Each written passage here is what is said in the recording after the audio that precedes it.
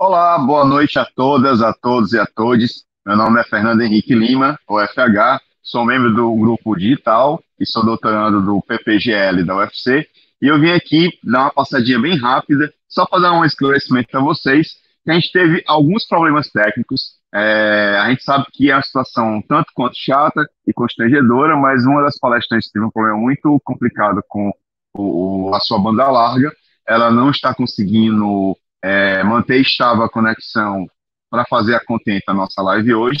Então a gente decidiu internamente dentro do grupo, é, é, para não perder a preciosidade, a riqueza desse encontro, né, fazer posteriormente com as duas participantes, né, e num momento muito mais rico, muito mais completo. Então a gente está vindo aqui rapidinho agradecer e pedir desculpas a você que ficou esperando a live, certo?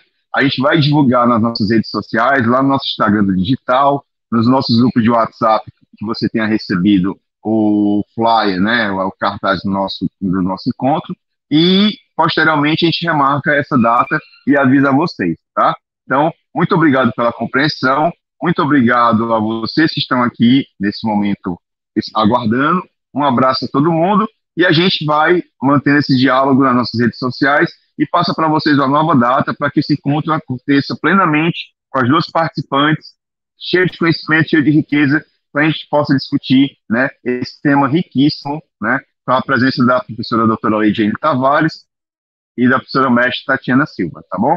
Eu quero desejar uma boa noite a todo mundo, muito obrigado, o Grupo Digital vai continuar a, a, realizando suas atividades às quartas-feiras, então a gente pede que você apareça aqui às quartas-feiras às 19 horas, compartilhe com seus amigos, certo? E a gente depois é, disponibiliza para vocês a data de novo deste encontro sobre impolidez e racismo, tá bom?